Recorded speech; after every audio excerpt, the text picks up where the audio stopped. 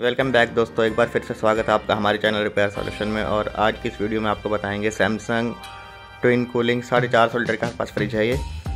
और जो इसमें फॉल्ट है उसके बारे में बताएँगे अभी। ये देखिएगा, ये इसका स्पेसिफिकेशन स्टिकर लगा हुआ है यहाँ पर। आर टी सेवन तो इसके बारे में आपको बताएँगे आज। इसमें क्या फॉल्ट है? और ऐसा फॉल्ट हमने भी आज पहली बार ही देखा है फ्रिज में। तो इसके बारे में बताएँगे आपको। ये देखिएगा, हम डोर खोलने की कोशिश कर रहे हैं फ्रीजर का, पर लेकिन पूरा फ्रिज आगे आ रहा है, साढ़े चार सौ लीटर का फ्रिज है पूरा ये। ये देखिएगा। ये दिखाते हैं आपको। नीचे का जो डोर है, आराम से खोल रहा है। और ऊपर वाला डोर जो है, देखिएगा आप, पूरा प्रेशर लगा के भी खोल रहे हैं, जब भी नहीं खोल रहा। ये देखिए।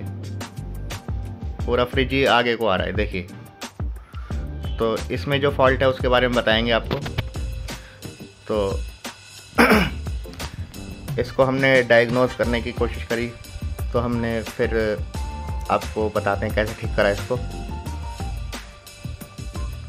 तो हमने इसमें काफ़ी पिन वगैरह फंसाई, सब करी, पर लेकिन डोर इसका नहीं खुला आसानी से।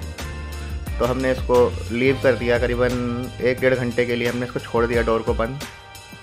उसके बाद काफ़ी देर छोड़ने के बाद इसको फिर हमने खोला।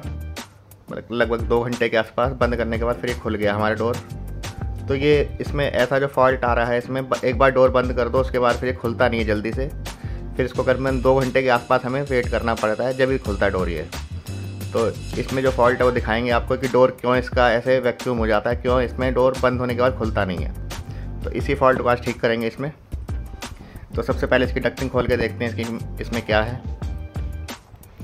इसमें जो कंपार्टमेंट है, जो फ्रीज़र कंपार्टमेंट है और इसका जो रेफ्रिजरेटर कंपार्टमेंट है, दोनों के अंदर जो है फ्रीज़र कंपार्टमेंट सेपरेट है और नीचे रेफ्रिजरेटर कंपार्टमेंट वो भी सेपरेट है।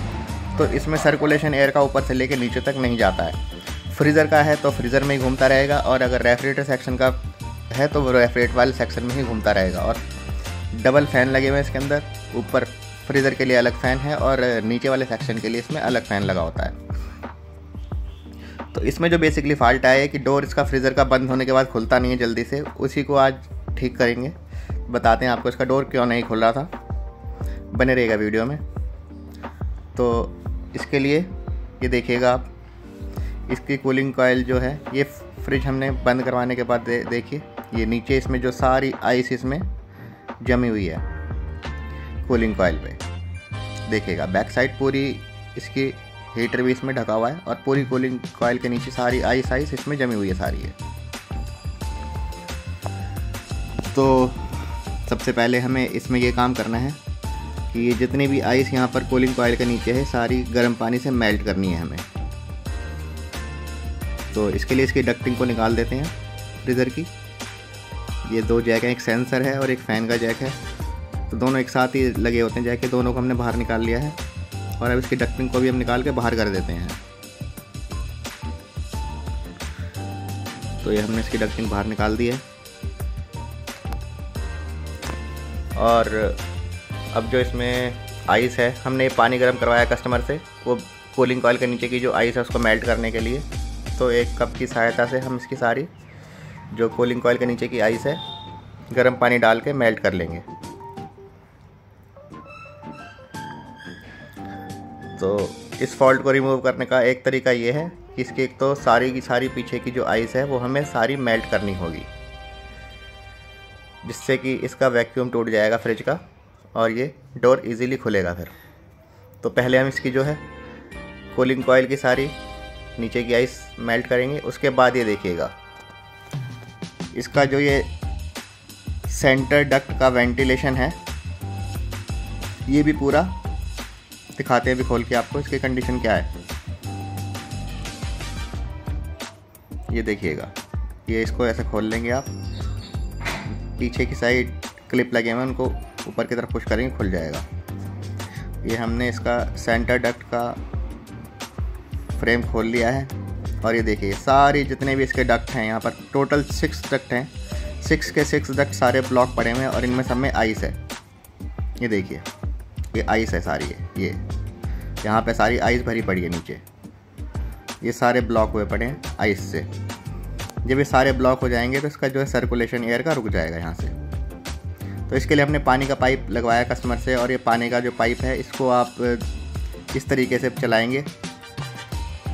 तो तकरीबन इसमें आपको एक से दो घंटा लग सकता है इसको डक्ट को क्लीन करने में। छः के छः डक्ट हैं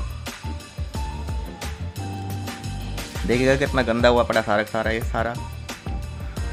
तो इसमें तकरीबन आपको टाइम तो थोड़ा सा लगता है बट ये ईज़िली हो जाता है। तो ये हमने इसमें पानी का पाइप चलाया इनकी छः छः की छः डक्ट इसकी क्लीन करने के लिए। बारी बारी करके इसकी आपको डक्ट खोलनी है, छः की छः सारी।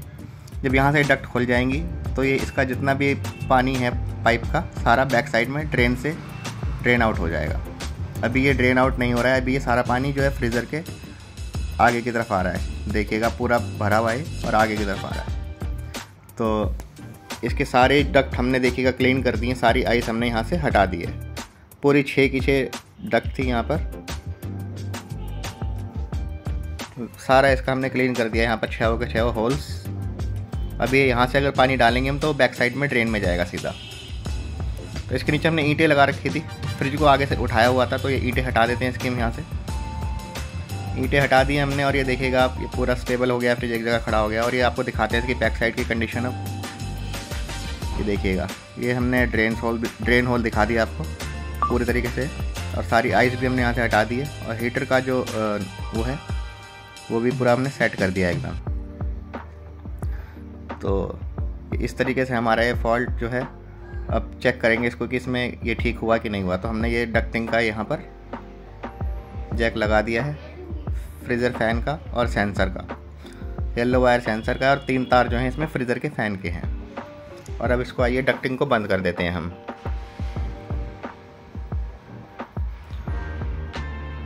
तो ये हमारी फ्रीज़र की डक्टिंग बंद हो गई है।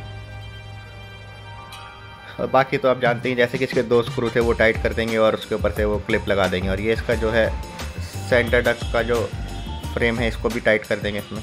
ये भी लगा देंगे हम वापसी दोबारा वहीं से जहाँ से हमने निकाला था। तो अब हमारा इसका जो एयर सर्कुलेशन का जो जितने भी सेक्शन थे, सारे खुल चुके हैं। तो आइए दिखाते हैं आपको अब डोर का। ये देखिए। अब ये डोर इसका इजीली खुलेगा एकदम। ये देखिए। अब इसका जो वेंटिलेशन पूरा टूट गया है। और जो ये वैक्यूम हो गया था फ्रिज और वो वैक्यूम इसका हट गया है। तो देखिए, अब आप इसे जितनी बार खोलेंगे इजीली खुलेगा ये। और तो हमने इसका डोर का जो हैंडल टूटा हुआ था कस्टमर से, वो भी लगा दिया है। तो हमने इसका डोर का हैंडल भी लगा दिया और आप देख सकते हैं डोर भी हैंडल से आराम से खुल रहा है। ये देखिए। तो ये हमारा फॉल्ट जो है रिमूव हो चुका है। तो हमें बताइएगा आपको ये वीडियो कैसी लगी। Thank you for watching me video मिलेंगे अगली वीडियो में। Thanks a lot bye